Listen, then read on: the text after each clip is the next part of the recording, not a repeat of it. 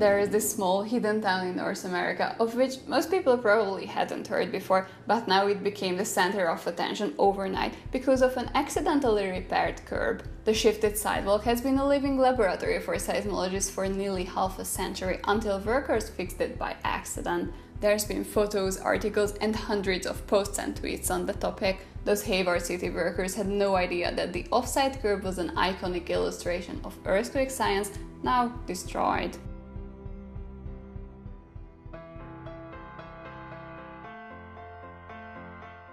But don't get too sad, there are pictures from 1971 till now documenting the creep of the curb, so why should we just throw all that away? From this picture with the ruler you get to know that the width of the curbstone is 15 centimeters. From this point you can calibrate your measuring tool according to this value and measure the shift in each year when there was a photo taken.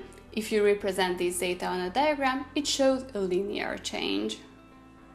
To make some estimations, we determined the equation of the line of best fit, displacement on years, which revealed that if it really was a linear motion in the past too, the pavement must have been built somewhere around 1924. And it also allows us to keep it moving a little bit more. Here is how the curb moved up until now and how it would move if it hadn't disappeared two months ago.